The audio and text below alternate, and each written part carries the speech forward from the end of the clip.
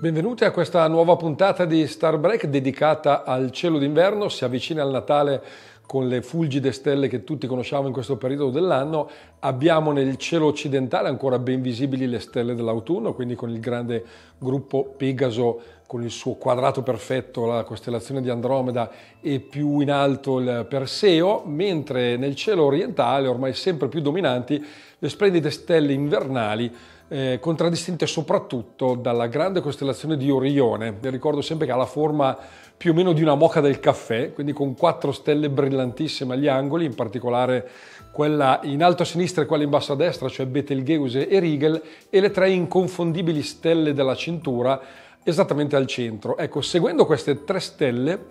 eh, la direzione che ci indicano, verso il basso incontriamo la stella più luminosa del cielo, cioè Sirio, che diventerà sempre meglio visibile nelle prossime settimane. Seguendo invece questa linea verso l'alto andiamo a trovare un'altra stella brillante di colore rosso che è Aldebaran nella costellazione del Toro. La vedremo al vertice di una V, questa V è l'ammasso stellare delle Iadi, nel cuore della costellazione del Toro, Poco oltre le Iadi, inconfondibile, un grappolo di stelle, se ne vedono circa 6-7, tutte raggruppate a occhio nudo, è il bellissimo ammasso delle Pleiadi, eh, il gioiello della costellazione del Toro, mentre le altre stelle invernali importanti sono Castore e Polluce, dei gemelli brillantissime, che possono essere trovate seguendo proprio la diagonale delle due stelle più brillanti di Orione, cioè Rigel e Betelgeuse, andando verso l'alto, e tra i gemelli e Sirio un'altra stella brillante, Procione nella costellazione del cane minore. Considerando che Sirio è la stella più brillante del cane maggiore, verrebbe da chiedersi perché così tanti cani mitologici in cielo. Beh, pensiamo che Orione era un cacciatore, ogni cacciatore un paio di cani se li porta nelle battute di caccia, però attenzione perché in realtà la costellazione dei cani da caccia esiste e non è qui, è in un'altra zona del cielo vicino all'Orsa Maggiore. Oltre a queste stelle brillanti che abbiamo elencato, quindi le stelle di Orione, Aldebaran del Toro, Sirio, Procione e Gemelli, altissimo nel cielo c'è un pentagono di stelle esattamente sopra le nostre teste in prima serata, il pentagono dell'Auriga, con una brillantissima stella gialla, Capella, che ha una particolarità.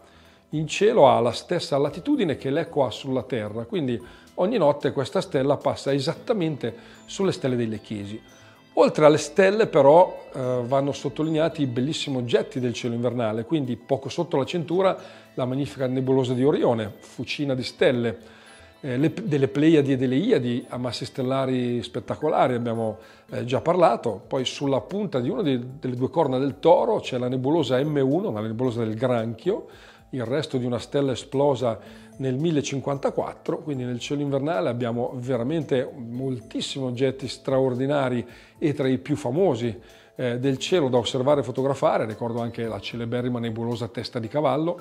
eh, prossima proprio a una delle stelle della cintura di Orione, e infine i pianeti. Per quanto riguarda i pianeti, eh, noi abbiamo visibili subito dopo il tramonto Venere e Saturno, visibili per un po' più di ore invece c'è eh, il pianeta Giove. Mm, dicembre è un mese favorevole alle osservazioni per la limpidezza del cielo, quando naturalmente sereno.